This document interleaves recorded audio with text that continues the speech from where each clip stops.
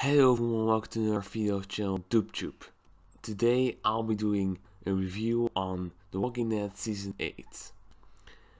And instead of like most channels uh, doing a review per episode and then uh, making a review a total of the season, I will just do a total season review and then next year, when season 9 ends, I will do a review per episode. And then for season 10, I'll do a review in the way you guys liked it the most. Before we get started with this review on this divisive season, I want to give away a quick spoiler since I will be talking about some plot details. So if you're not up to date with The Walking Dead or if you haven't watched season 8 at all, just don't watch this video because I might be ruining it for you. With all here, let's get started. First up, I want to say that this season is one of the most divisive seasons ever. I mean, if you look at all the seasons that are not great but good, let's start off with season 1. That was uh, okay. Then season 2 was very boring. Season 3 and 4 were mixed reviews, but okay. Season 5 was very divisive. Season 6 was awesome. Season 7 was also divisive. And now we're at season 8. And this is clearly the most divisive of all a lot of people have mixed thoughts about this season. And I'm just gonna say all the things that are bad about it and all the things that are good about it. Let's just say that this season was great. At first. At first it was great. It had great cliffhangers, great deaths, great shocking moments. And it made us some of the characters more likable. It had satisfying moments, it had emotional moments, and it had unforgettable moments but there were also some very unnecessary things. There was one special thing about the season, and that was that they made us feel about characters we don't give a shit about, and we hate very much. For example, Jadis, after all her people were killed by saviors, some of us felt feeling bad for her, including me, and I and not that fast and feeling bad for characters who have betrayed someone like Rick. I also felt bad for Negan for losing his wife and everything else. It really makes me understand why he's such a dick. I also felt for Dwight and he became a more interesting and better character since he finally turned against Negan like he was supposed to do from the very beginning. However, there were some other things that I didn't like about the character changing, and that was that some of the characters give me mixed thoughts about their choices they made, about how they act around people, and how I like them. Just all the characters that now have a mixed reception are, for starters, Daryl, the badass and most awesome character in the show, I have now mixed reception about him because he is turning bad against against Rick and good against Rick all in all. And I don't like it. I don't like it at all. I know which side he is on now, but we will see. However, I hope he will go back to being the silent bass again, instead of being the guy who makes dumb choices. Then we have Maggie, who started off as a great farm girl and visual badass. However, after the death of Glenn, she starts to get pretty annoying and not really that great of character.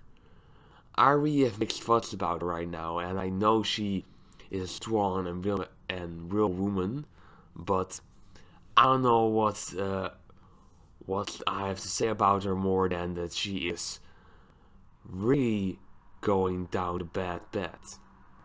Then I have to talk about Enid here, the back, who is very, annoying at times. At first she was just a very interesting character, sometimes boring, but now she is really getting on my nerves.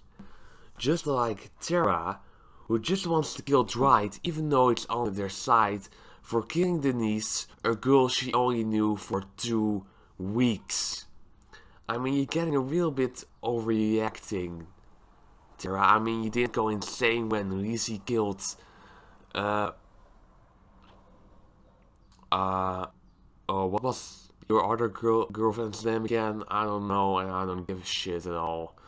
However, just get over it, Tara, and you finally did. That was good, but still, I have mixed thoughts about you. And I also didn't like Jesus at all because Jesus is an awesome, badass character in the comics. However, in the show, he gets less to do and he also wants to save everyone. He wants to save everyone alive, even the guy that tried to kill him. You're in apocalypse, you can't trust anyone, and what you do? You keep the guys alive that wants to kill you. How does that make sense? However, at least we got redemption for those characters we hated. Like Eugene, I start to like him we, when he messed with the bullets and he killed several saviors. That was a really satisfying moment and I won't forget that moment anytime soon.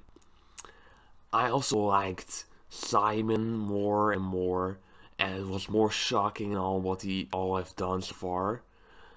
However, it was, he was killed in a really great way. Also for Jared, he was also killed in a great way as well. And I started having Gabriel like a little bit more after he became very boring in season 7. And now I like him a little more, however he still makes dumb choices. But I'm willing to forgive him for that. However, what I can't forgive is those terrible, unnecessary deaths that just the arc from characters that had to stick around a little bit longer because they just start getting interesting and are one of the most underrated characters ever. Starting off with Morales, brought into the season for only one or two things, whatever you want to call it, just for a shocking moment. It didn't have any purpose at all, he was just standing there, told that his family was killed by zombies, and he turned to saviors because he felt safe there. And then he was quickly killed off by Daryl in a very forgettable way. Another death I didn't like at all was the death of Dr. Harlan Carson. Gabriel and Carson had a great adventure on their own and they almost got off only then they're being held by saviors and they're being taken prisoner again back to the sanctuary Carson makes stupid decision to grab a gun from a savior and then get shot in the probus in the prop and get and then get shot in a death and it was really quickly. I mean, he got shot in the heart and most of the characters we have seen shot in the heart had some moments before they died. But Carson didn't. He just got killed right up. And Negan didn't have any problems with it at all even though he is none of doctors on that moment. He is no doctor and he was mad. How another death, and I knew you all see, saw this one coming, that did, this death pissed me off so much that I will never forgive Scott Gimple for making this terrible choice. And that's the death of Carl Grimes. Carl Grimes is one of the greatest characters on the show and one of the most important characters on the show and they just killed him off for no reason at all.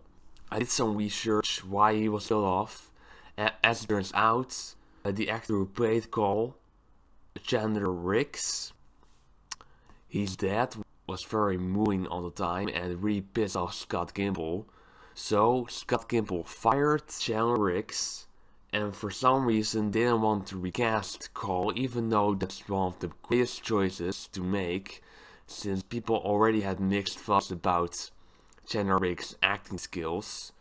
So a new actor in the role would have been perfect, only they killed him off And now Carl's storylines are replaced by a very stupid, annoying character that I'm never gonna like, and that's Henry. I'm never gonna like Henry at all. So fuck you, Henry. You're the worst replacement for Carl. And I just hope you get killed off as soon as possible. And maybe in some kind of way, I don't care if it's dumb or not, they have to bring Carl back. Because it makes no sense that he's dead. Carl is a very important character for the Wisp storyline. And I don't really see it happening without him, but it is happening without him and it's gonna suck a lot. And I'm just not gonna like it at all but I'm still gonna watch it because for this reason, and that is because this season has its up and downs and has me really hate it for a lot of times. However, the last two episodes were awesome. They made me have hope in The Walking Dead again. And that's why I think that season 9 may work but it won't be as great as it's supposed to be. But I think it's still gonna work. I'm really hoping that the Whisper storyline will be done right, and I hope that it works without Carl, or else we'll just get a terrible seasons over the years, and The Walking Dead is getting cancelled by season 12, I think. I really think it is, because it's going downhill for so many reasons right now, too many characters, mixed thoughts about chasing character mobilizations, giving characters a mixed reception, killing off fan favorites, killing off characters who just start to get interesting. I mean, The Walking Dead is making very dumb choices. And I just hope they're getting their back on trail again. However, we will see what's gonna happen. So far, I have mixed thoughts about what's gonna happen with The Walking Dead. However, I giving this season a 6 because it has its up and downs, it has satisfying moments, awesome moments, terrible moments, terrible choices made by the makers of the show, but overall it gets a 6 because it's just one of the most divisive seasons of the show so far. So that's my review on The Walking Dead Season 8. I hope you enjoyed it. Tell me what you think about the season in the comments below.